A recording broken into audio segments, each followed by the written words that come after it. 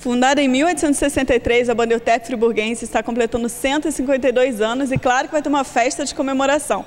Para falar sobre esse assunto, o Paulo, presidente, está aqui do meu lado. Paulo, como é que vai ser a comemoração esse ano?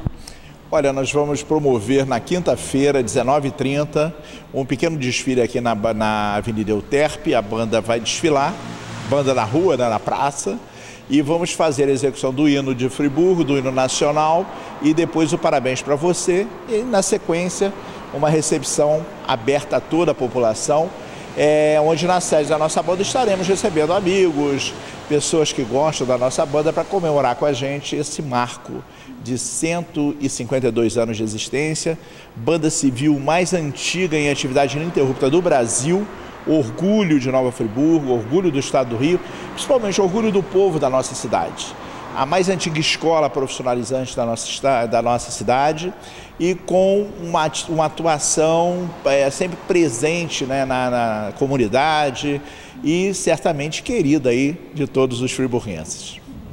Paulo, vocês vão concorrer também a alguma premiação no Rio de Janeiro? É, vamos participar de um concurso do governo do estado chamado Banda Larga no Teatro João Caetano no dia 8 de março. A nossa banda já ganhou esse concurso é, em, no ano anterior. Na última edição tiramos em terceiro lugar e dessa vez estamos confiantes.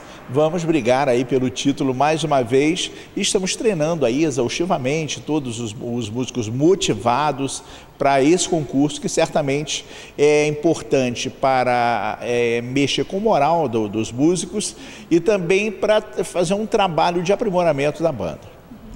É, então aproveito o pessoal que está em casa assistindo né, para convidar para comemorar o aniversário de 152 anos com vocês. E também gostaria de fazer um convite especial para aqueles que gostam de dançar.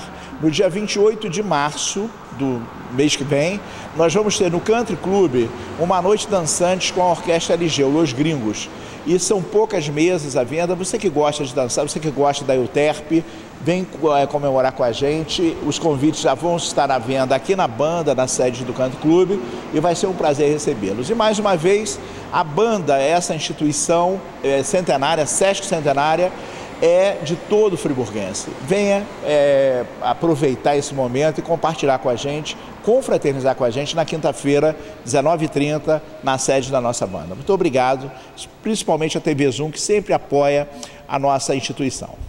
Muito obrigado, Paulo, pela sua participação. Andressa Brauer para o Zoom TV Jornal.